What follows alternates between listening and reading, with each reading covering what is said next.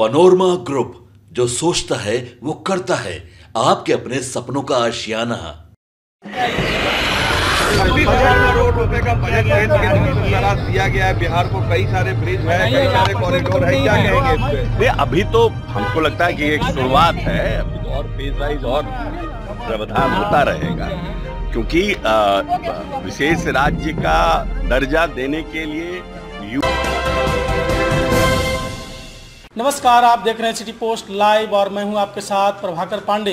आपको बता दें कि विपक्ष के नेता जिस तरह से बिहार को लेकर, बिहार के विशेष राज्य के दर्जे को लेकर सरकार को घेरते नज़र आ रहे थे, वहीं पक्ष के नेता इस पर जवाब भी देते नज़र आ रहे थे। इसी के साथ अशोक चौधरी, मंत्री जदयू के द्वारा एक बयान सामने आया है। उन्होंने कहा है कि बिहार को विशेष राज्य के दर्जे को लेकर यूपीए सरकार में भी ये मांग उठी थी, हम लोग मांग किए थे। लेकिन जिस तरह से प्लानिंग कमेटी में प्लानिंग कमीशन में जिस तरह से प्रावधान था, विशेष राज्य दर्जे को लेकर, जो कि बिहार के बहुत सारे राज्य जो थे, वो विशेष राज्य के दर्जे की मांग कर रहे थे, उस उस समय यूपीए सरकार ने साफ़ इनकार कर दिया और कहा था कि जिस तरह से प्लानिंग कमीशन में जो प्रावधान है, उसके अनुसार विशेष राज्य का दर्जा नहीं मिल सकता है और उसी के साथ उसमें भी बिहार को बिहार के लिए भी विशेष राज्य का दर्जे की मांग जो उठी थी उस समय यूपीए सरकार ने कहा था कि बिहार भी इस क्रिटेरिया को फुलफिल नहीं कर रही है और इसे विशेष राज्य का दर्जा नहीं दिया जाएगा। लेकिन हम लोग लगातार इसकी आवाज़ को बुलंद करते रहे और अब एनडीए की सरकार में भी इस बात को हम लोग रखे थे, माननीय मुख्यमंत्री नीतीश कुमार भी इस बात को रखे। लेकिन जिस तरह की प्लानिंग कमेटी में जिस तरह से प्रावधान है, उसके अनुसार बिहार को विशेष राज्य का दर्जा नहीं मिलेगा। और क्या कुछ कहते नज़र आए विशेष राज्य के दर्जे के बारे में? विजय अशोक चौधरी, पहले आप इनका बयान सुने। दिया गया है बिहार को कई सारे ब्रिज है कई सारे कॉरिडोर है क्या इस अभी तो हमको लगता है कि एक शुरुआत है, अभी तो और फ़ेज़ वाइज और प्रावधान होता रहेगा।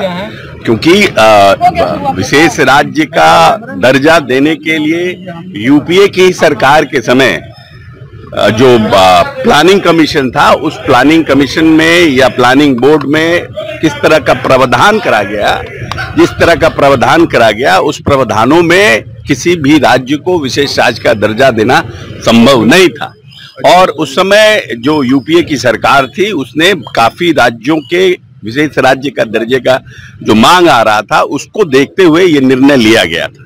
तो वैसे जब सरकार बदली और ये सरकार आई, तब भी हम लोगों का विशेष राज्य की मांग को हम लोग बार बार कहते रहे कि planning commission planning board change करे इसको और इसमें तबादला होना चाहिए।